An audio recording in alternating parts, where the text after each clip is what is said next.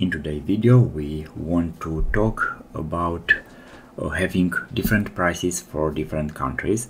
So we have here product A and we want to have this list for Japan here in yen.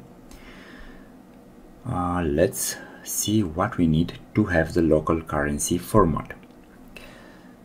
So let's go first to write the dollar uh, the value we want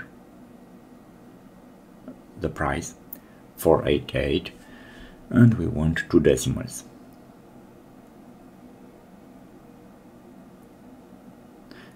So now we have in forints Hungarian forints because this is the local uh, the local settings now. Here in options language settings languages let's change to Japanese. Okay and we need to write this formula again. So let's write dollar 488 and two decimals. So we have the yen uh, for this value. Let's play now with decimals. So uh, for example if uh, we want to round this 8 we want to have 490 here we write minus 1 so the first the last number is rounded. If we write 2 all these two numbers will be rounded. So uh, the next value rounded is 500 of course we can have positive uh, rounded decimals.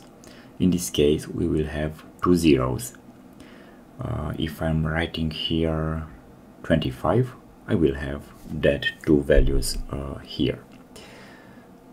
If I want just one value 25 will be rounded to 30 now let's talk about uh, changing the country. Let's have Germany here. Of course will be not the same price in euro like here if um,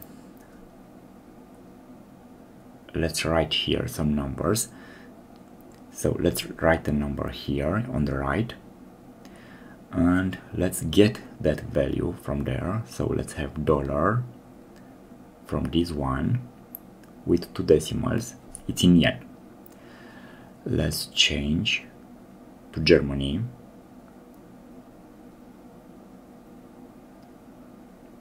okay. And, now if we save it and reopen is not changing we need to apply the formula again. So we have dollar from that value with how many decimals we want and now it's in euro. If I do the same thing here I will have euro everywhere so in this case we want different lists for different countries. We could have columns for different prices in different um, lists and we just choose what we want. And now for example if I write again dollar that value with uh, two decimals I have yen and very easy I could apply down there so it's very easy to use. What we need is different prices for different countries uh, for currencies for each country we sell. Thanks for watching and please subscribe for more video. Thank you